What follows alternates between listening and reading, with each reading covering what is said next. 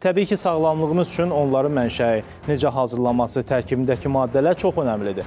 Sadaladığım bütün bu amillər Qida Təhlükəsizliyi İnstitutunun laboratoriyalarında öyrənilir. Növbəti reportajımız məhz həmin laboratoriyaların birində olacaq. Yəqin ki, hər kəsə maraqlıdır, ətin mənşəyi necə öyrənilir? Onda zərərli parametrlərin olub-olmaması hansı üsullarla araşdırılır? Əməkdaşımız Nərmin Mətləb qızı laboratoriyada ətin qəbulundan başlayaraq tərkibin necə öyrənilməsinə qədər proses izləyib, detallarla biz də tanış edəcək.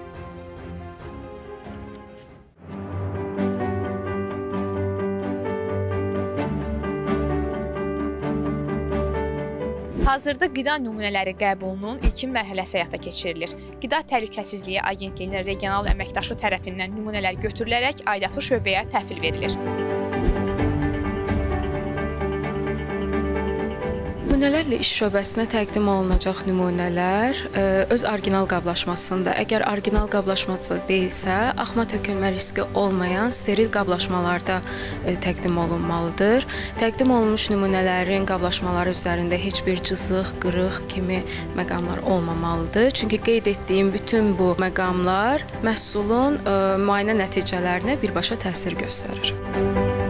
Digər mərhələdə gətirilən nümunələr mütəxəssisə təqdim olunur. Mütəxəssis isə nümunə ilə sənədi eyniləşdirir.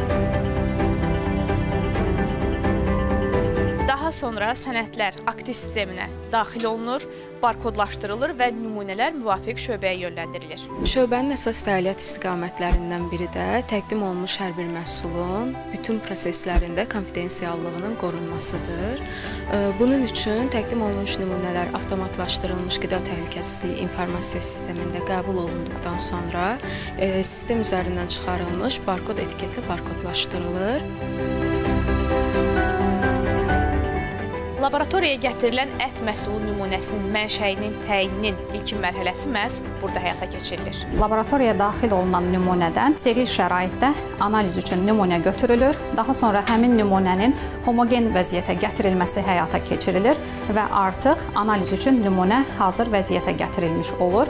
Növbəti mərhələlərdə isə artıq hazır ticari dəstlərdən istifadə edərək nümunənin analizi həyata keçirilir. Laboratoriyalarda 3 istiqamət üzrə nümunələr qəbul edilir. Azərbaycan Respublikasının Qida Təhlükəsizliyi Agentliyinin regional bölmə müfəttişləri tərəfindən təqdim olunan idxal, ixrac və yoxlama nümunələri, dövlət qurumlarına daxil olan nümunələr və fərdi sifarişçilərdən təqdim olunan nümunələr. Mütəxəssislər deyir ki, ət və ət məhsullarının mənşəyi, eləcə də tərkibə başqa məhsulların qarışdırılması ancaq laboratoriya şəraitində aparılan mənşə təyini sınaqları vasitəsilə bəlli olur.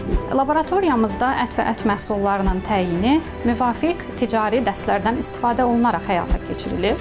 Yəni at, mal, qoyun, keçi, donuz, uzunqulaq, həmçinin toyuq, hind quşu və sair kimi mənşə təyini sınaqları molekulyar bioloji yolla, yəni PCR metodu ilə həyata keçirilir. Bütün analizlər yekunlaşdıqdan sonra nəticələr bu qrafiklərdə bəlli olur və məhz bundan sonra ət məhsulunun mənşəyi haqqında yekun qərar verilir.